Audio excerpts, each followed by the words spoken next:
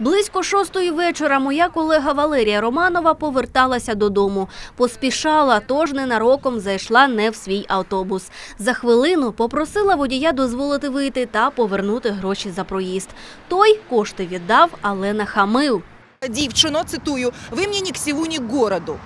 Е, і потім е, почалась якась така незрозуміла для мене лексика. На кшталт, ви тут мені перекрили своєю задньою частиною, розумієте, про що я е, прохід, я не бачу людей і так далі. Хоча е, це все проходить ну, 30 секунд, ну це максимум. На прохання не грубіянити водій підвищив тон.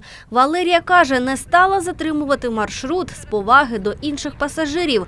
Проте сьогодні вирішила відшукати образника, аби отримати вибачення. Тож разом рушаємо на кінцеву в мікрорайоні Черемушки. Чекаємо на 104-ту маршрутку.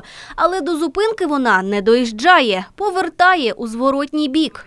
Тому е, вирішили все ж таки наздогнати нашого горе-водія. Наздоганяємо автобус біля автовокзалу, сплачуємо за проїзд та їдемо до кінцевої. Водій Валерію впізнав одразу. На питання, чому звернув з маршруту, виправдовується. Мовляв, допомагав колезі. Графік з'їхав і перестрахувати треба на обід з'їхав, перестрахувати треба було. Хамство напередодні пояснив годиною пік. Перед Валерією вибачився. І настрій, і година пік, люди, черга автомобілів. Я не хотів образити дуже вас, чесно кажу. В департаменті транспорту щодня отримують від п'яти звернень про водіїв грубіянів.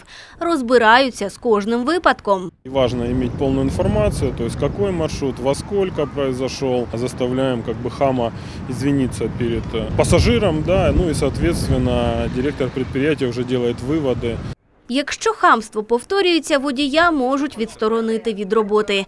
Юристи ж кажуть, ображені пасажири також мають право звернутися у поліцію.